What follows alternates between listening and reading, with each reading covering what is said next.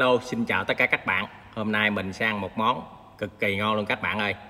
Đó là món cá tai tượng chiên xù Cuốn bánh tráng, gào sống, bún và chấm mắm niêm Các bạn thấy hấp dẫn không?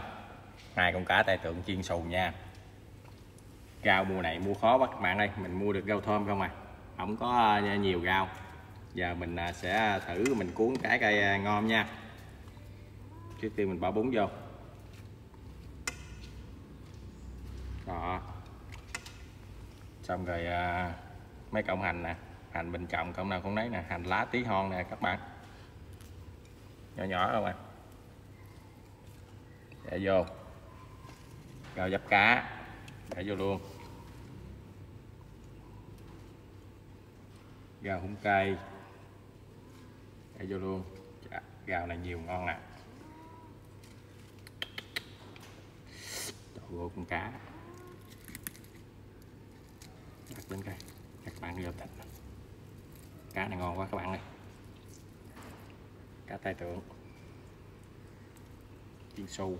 Quất miếng miếng luôn ha. Cho nó ngon. Giờ mình gói nha các bạn. Trời, cảm nhận mình gói cũng khéo quá nè.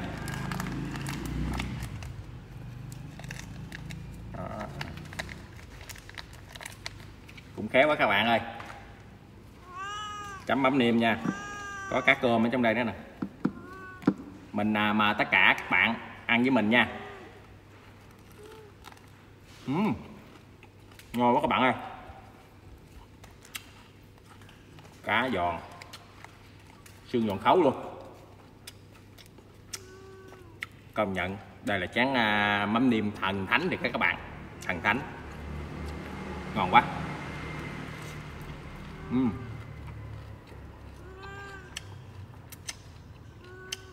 quá ngon rồi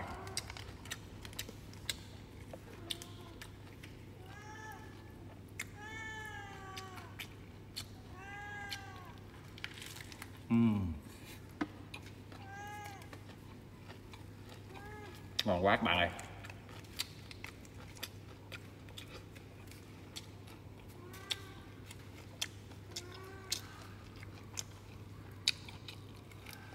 uhm.